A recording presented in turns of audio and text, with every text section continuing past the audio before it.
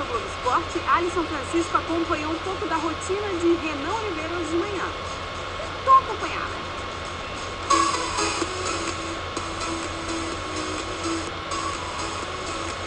Olha só, ele estava bem complicado para conversar com o Renan, hoje dando entrevistas. É o cara do momento, está curtindo essa fase, o gol do clássico. Já caiu a ficha, conseguiu dormir, Renan? Tudo bem, boa tarde. Boa tarde complicado para dormir, né? Fica aquela adrenalina. Então acho que foi uma resposta do nosso torcedor, para que eles possam é, estar junto com a gente durante os jogos, para que a gente possa ficar ainda cada vez mais forte. Já conseguiu ver o, o gol depois do jogo? Não, vi, a gente depois do jogo fomos na minha casa, alguns amigos, para a gente comemorar a vitória. Vamos dar uma olhada então nesse gol da roubada de bola, seria esse toque, né? Eu acreditei na jogada até o final ali, o Léo Gamalho também.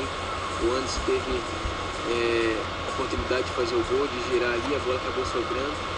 E a comemoração, a felicidade do, do Goianiense.